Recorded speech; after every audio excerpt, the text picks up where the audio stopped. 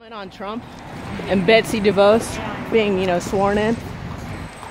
I'll get killed either way. No, I think it's important. People want to know what people think. You know what I'm saying?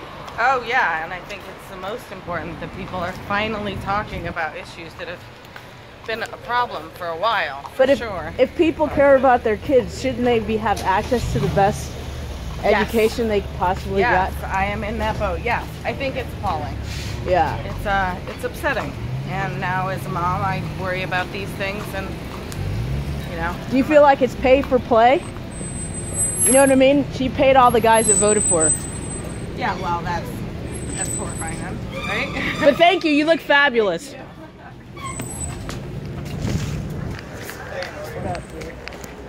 Oh God, when did the rain stop? Mm.